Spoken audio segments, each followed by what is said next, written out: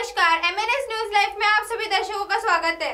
मेसूर खान के खिलाफ red corner notice की तैयारी में ईडी।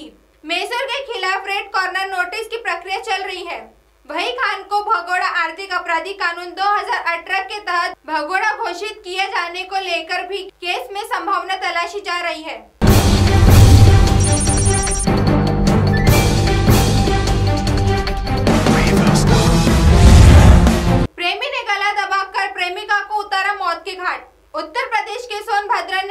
प्रेमी द्वारा अपनी प्रेमिका की हत्या करने का मामला सामने आया है।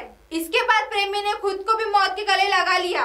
मौके पर पहुँची पुलिस इस मामले की वजह तलाशने में जुटी है।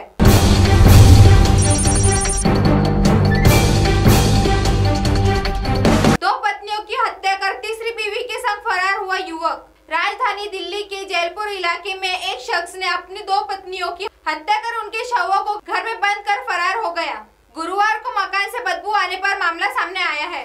घर से बदबू आने के बाद लोगों ने पुलिस को सूचना दी। M N S news live की खबरें देखने के लिए आज ही प्ले स्टोर से एस हिंदी ऐप डाउनलोड कीजिए और इस चैनल को सब्सक्राइब कीजिए। धन्यवाद।